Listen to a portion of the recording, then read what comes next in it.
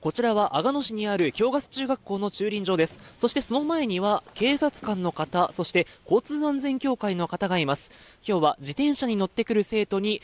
一風変わった声かけをするというんです。子どもたちにですねあヘルメットかぶってよかったな普通にかぶっていこうというふうにですね思ってもらえるようなあのイベントで、えー、やっていきたいと思いますので。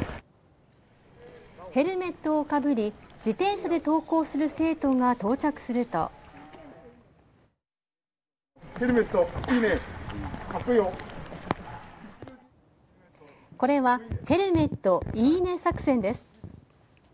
今年4月に努力義務となった自転車を利用する際のヘルメットの着用。